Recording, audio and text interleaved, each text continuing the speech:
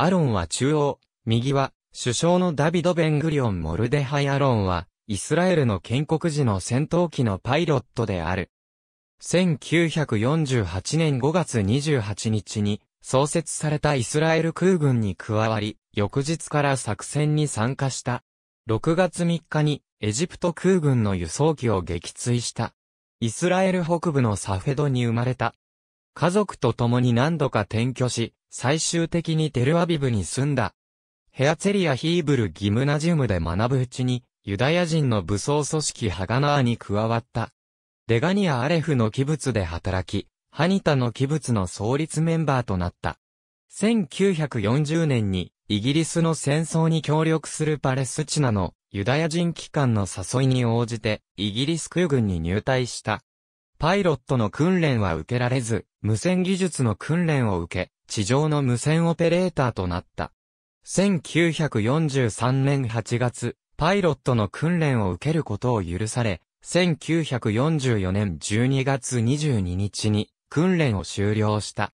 P-51 のパイロットを務めた後、1946年1月30日にイギリス空軍を辞め、パレスチナに帰還し、イスラエル工科大学で建築の勉強を始めた。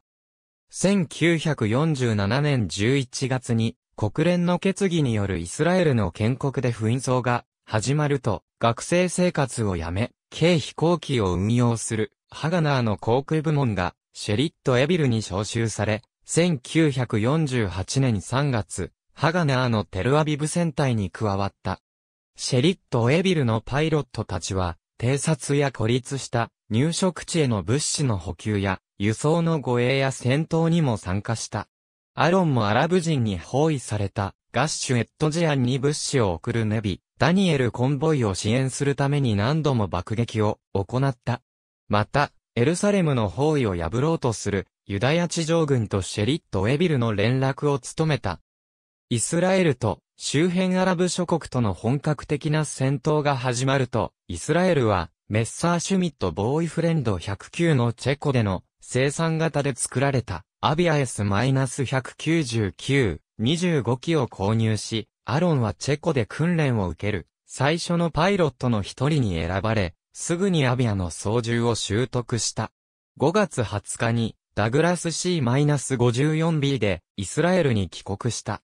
1948年5月29日、イスラエル空軍に、最初の戦闘機部隊である、第101飛行隊が編成されると、アロンは指揮官となったが、空中での指揮は、第二次世界大戦の太平洋戦線のベテラン飛行士、ルーレナートが言った。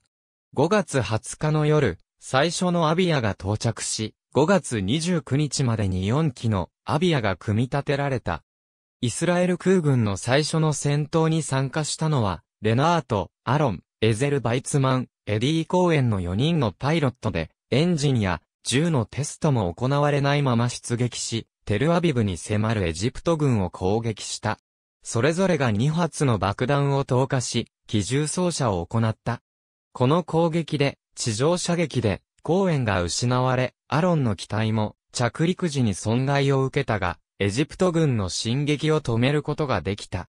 6月3日時点で、飛行可能な唯一のアビアで、アロンは、テルアビブを爆撃した2機のスピットファイヤに護衛された、エジプト軍の2機の C-47 を攻撃し2機の C-47 を撃墜した。これが、イスラエル空軍最初の撃墜記録となった。多くのテルアビブ市民が目撃し、アロンは記者会見に出席したので、基地には市民から多くの花や酒などの贈り物が届けられた。7月にはルーレナートが連隊を離れ、アロンは唯一の指揮官となり7月18日に3機目の撃墜を記録した。地上攻撃から帰還する3機のアビアは、アラブ軍の2機のスピットファイヤと空中戦となり1機を撃墜した。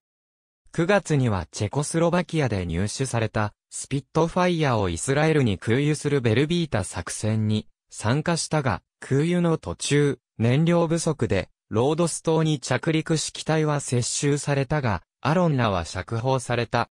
1948年10月16日、エジプト軍に対する攻撃から戻るとき、アロンの機体は、主脚が出ないトラブルが発生し、足を出すために激しい運動を行うと、エンジンが白煙を吐き、高度を失い始めた。地上に衝突する前に、機体は爆発し火に包まれ、アロンは死亡した。ありがとうございます。